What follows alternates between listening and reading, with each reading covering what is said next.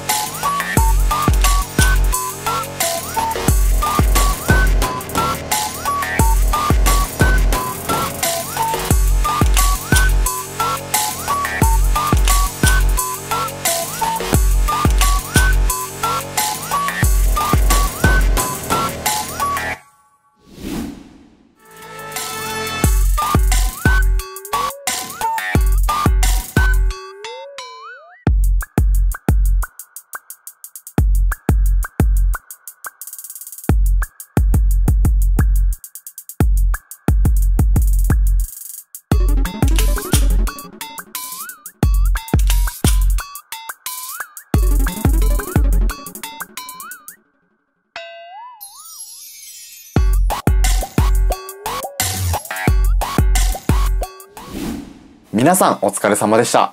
スパンシブ C パート前半の振り付けはいかがだったでしょうかスタートポジション、起動、エンドポジションをしっかり取れるようになったら曲の音像にも着目してみてください。音像とはドーンの残響音のことでスペースアートでのイメージ共有に使っているワードです。音像によってアクセントの取り方や起動のスピードも変わっていきますので使い分けられたらいろんなシーンで役に立ちます。それでは簡単に振り付けのポイントを整理していきましょう。スタートポジション、起動、エンドポジションを明確にし、次のエンドポジションを予想する。アクセントとスローの切り替えをはっきり。力みの違いも感じていきましょう。音像によってアクセントと起動のスピードを使い分ける。関連動画としてスパンシブのショート動画もあります。細かい部分をブラッシュアップしているちょこっとネタという動画も参考になると思います。振り付け解説動画も完成まで順次公開していきますので、作品に興味を持ってくださった方はぜひトライしてみてください。その他振り付けで利用している関連テクニックのレクチャー動画もありますので、細かい部分のブラッシュアップにお役立ていただけると思います。関連動画は概要欄にリンクを貼っておきます。スペースアートダンス TV では皆様がエナジー溢れるダンスライフを送れるように、そして少しでもハッピーにつながるように動画を作っていきます。チャンネル登録、グッドボタン、頻度高く更新していますので、通知ボタンの方も押していただければ幸いです。いつもご視聴いただいている皆様、本当にありがとうございます。僕はアドリブでもアクセントからのスローをよく使っています。リズムを刻んでいるところからアクセントを入れてスロー。こうすることで動きに波を作ることができ、僕自身とても好きな動きです。まずはスローから一歩ずつ練習していくことが大切です。ですが、楽しむことは忘れないでくださいね。スローの練習は意識が集中しすぎちゃって視野が狭くなりがちなので注意点です。ぜひこれからも僕たちと一緒に楽しみながら一緒に練習していきましょう。それではまた次回の動画でお会いしましょう。